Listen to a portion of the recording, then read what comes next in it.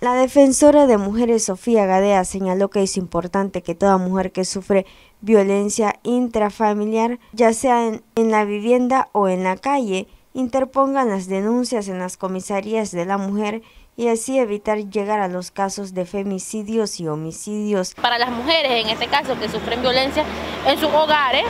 de que no es la violencia de la calle, no es la violencia eh, callejera, de no es que un hombre te esté... este, eh, lanzando piropos que no son aceptados para nosotros, nosotros las mujeres no lo aceptamos como, como halago, sino como algo que no te parece, entonces eh, es la violencia física, es la violencia verbal, es la violencia que vos recibís en tu casa, entonces nosotros como mujeres debemos de buscar la manera de cómo denunciar antes de llegar al punto de que te puede eh, tener bastante lo que son trastornos psicológicos, porque como decís vos, no es al punto de llegar a matar a la mujer, sino es al punto de que dejarle... trago psicológico a la mujer, de trauma. Gade agregó que otra problemática que afecta es las desapariciones de mujeres que se están dando y que muchas de ellas son encontradas muertas con signos de violencia. Pero gracias a Dios, un índice ha podido, este, eh, como te digo, escapar en este caso de, de, que no sean asesinadas y son violadas, son, son que les roban y un sinnúmero de, de, de,